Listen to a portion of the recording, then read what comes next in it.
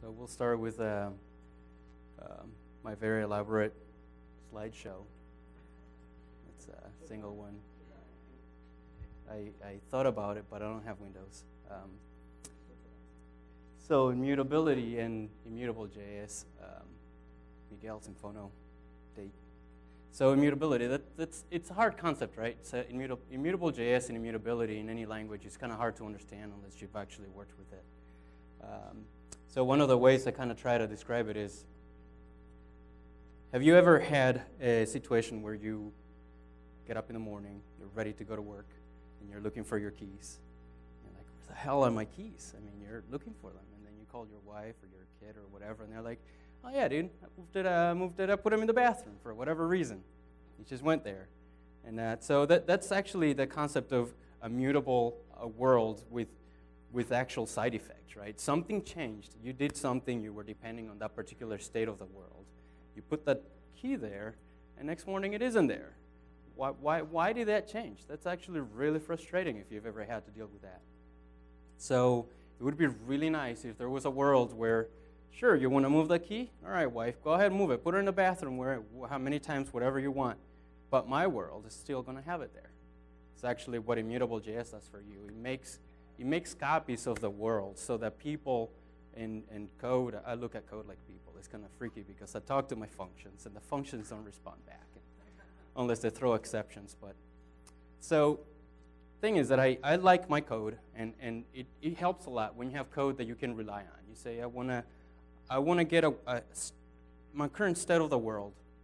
I'm going to process it. And I know that at, at any given point in my world, regardless of whether I'm asynchronous or synchronous, any changes outside of my little bubble uh, doesn't affect me. Right? So what I'm going to do is, there are a couple of examples I'm going to show here, but I created some pretty common stuff that we kind of do in um,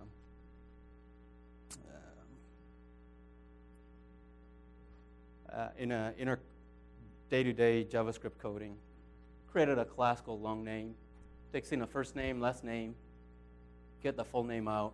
You say, all right, I'm going to instantiate that with Miguel, long name.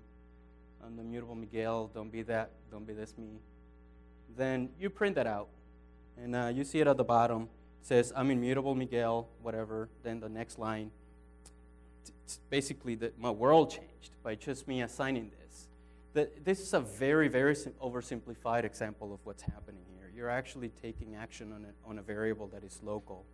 Um, imagine if it was actually being passed to you, and then you modify it directly, and you print it out, and then there, you've changed the state of the world. That, that's your state. My name is, I'm immutable Miguel, is not, I am immutable, immutable Miguel changed. That's not my name. In contrast with, with, with with immutable JS, you have the concept of a record. The record is basically a way to define a prototype where you you, you define up front your class. You say, my class is going to have first name and it's going to have a last name. The really cool thing about this approach is that if you actually try to set something in that particular record, in this class, it will actually throw an exception saying, hey, dude, what are you talking about? You told me that I'm only going to be getting first name and last names, but you, now you're sending me in, I don't know, a prefix or something, whatever it is. So in this case, I'm just going to run this code so you can see what kind of what happens.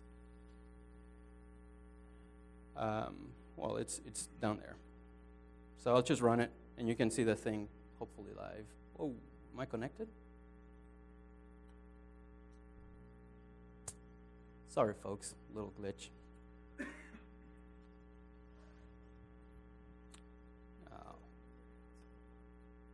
Yeah, no, it's the problem is that um, I am not connected to Nutshell.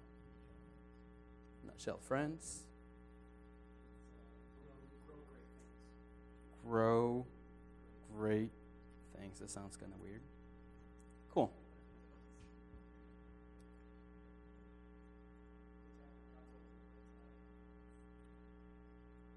This guy here?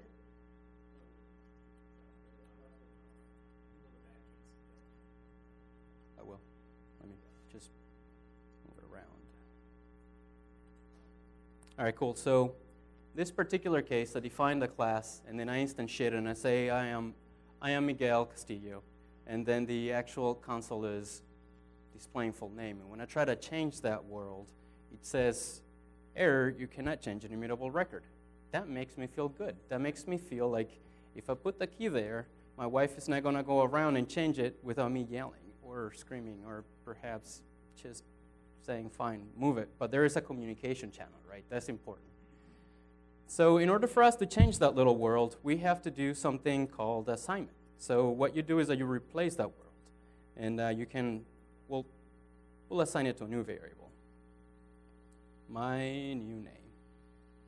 So you basically say my name, that merge. It's a little, it's a little weird. I'm not going to deny it. But it's still, still fine. Still better than the alternative of things changing without you knowing. So that is how you actually change stuff in, in immutable.js. Say, all right, I'm going to assign that to a new world, and those two are never going to be the same. Once you change that world, you're going to have two copies.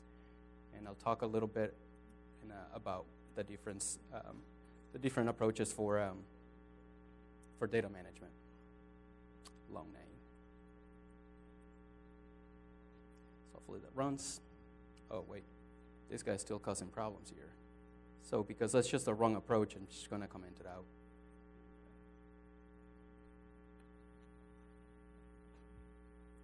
Oh, that's full name. Thank you.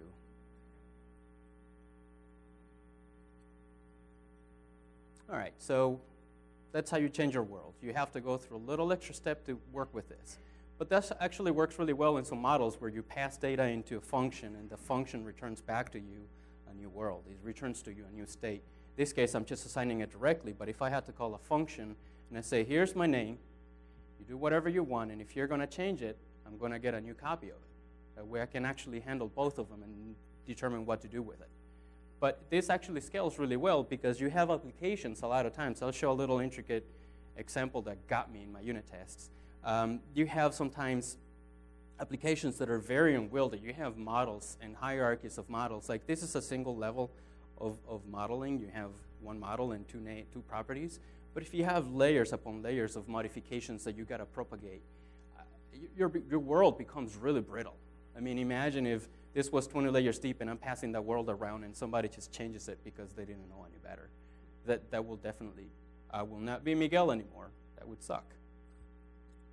So I'm going to show a little, a little example. Uh, see if I can. No, wait. There she goes. So this is a unit test I wrote. I had written. I have an input. I have an output. I have a function that processes that input and returns back out the output. This was my unit test. I give the function, here's an input. I'm expecting an output. My unit test, what was happening is that when the unit test ran, the actual output was the same as the input, which was really, really strange. This case is passing, so what we'll do is I will break it so you can see, right? Simple change. You don't even, uh, where is this guy? Oh, here. This is, this is really common. This is really common to do when you take things like Lodash or underscore or whatever other functionality utility stuff that you do. You use merge left and right. That's how you. That's how you mutate your state. You use merge, merge all that. But then what happens is that you, your your test failed. What I'm saying is that in this unit test, it took me a while to to realize this. Is that my input was the actual output. That doesn't make any sense. So sometimes that change of world, it's, it has behavior that you don't even understand why it's happening afterwards, after a couple of hair losses, and uh, you know, I, I, found out what the problem was. So all right, we'll go back to Immutable.js. I was just showing a real life example of this biting me uh, pretty hard for a while. So something a little more, more, more explicit is a collection. In a collection, you have I have the same thing, long name, and then I have an array of items, a, a, name of users. And in one function, I just print them out. Next function, I process the users. And next function, I, function, I print them out again. This process users is basically changing the name. I, I, I don't know that this code is representative of a real world just like this, but you don't know. You don't know if some functionality in some third-party tool or some other stuff is going to change your input. So if I ran this, I have I am mutable Miguel. Don't be like this guy. Then I have I am mutable Miguel changed. I called a function and my stuff changed. Now, if I were to run that with an immutable uh, approach, I create my, my same immutable record and I pass in an immutable list. It's a pretty trivial thing. And, uh, and um, when I run this thing, I'll just run it again so you don't, get, you don't think that I'm actually tricking you.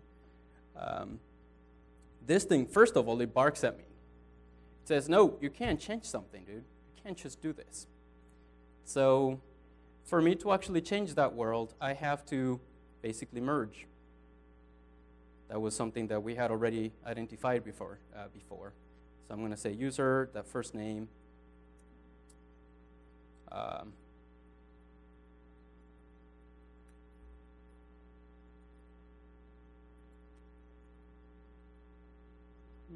is that right?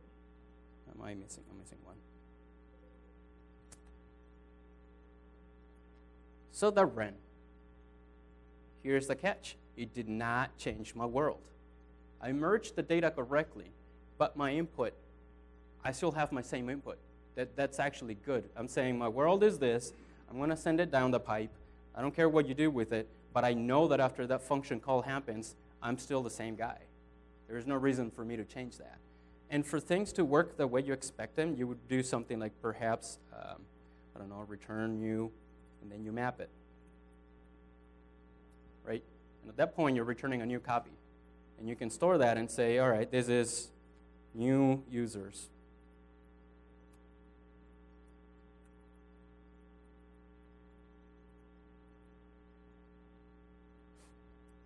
And I can print them both out. I wish this thing had IntelliSense, but ends meet. So if I were to run this, hopefully it'll work. I'm be embarrassed if it didn't, but whatever. Ah, there you go. So uh, I'll run it again. I like doing the magic tricks multiple times. Let them sink in. So here's something really cool, right? These two things are separate copies. It's actually, it's, it, it, this, go, this whole thing goes back to a lot of functional programming paradigms where get an input and you expect something out, and that doesn't have side effects. Side effects is just very, it's, it's a terrible thing because of that. I mean, um, there are other concepts in immutable JS that are really important. I'm going to just put up the, the actual website up here. Because in JavaScript, when you say array.map, array.x, array.splice, all of those things, every single function that you call will create a new copy. Every single function will create a new array. Yet the data in it is mutable. That's a problem based on what we established here. I don't know if you agree or not, but it's a different conversation. So the thing is that immutable JS has, JS has the ability to internally keep track of things that changed and maximize reusability. So if you have a map and you have 20 items and one item changed, 19 of those items are going to be shared. Right? That's really important. It's explained here. And uh, very briefly, I mean, this doesn't go into too much detail about it, but it will go into some other parts. Uh, it also it, it leverages the concept of iterators really well.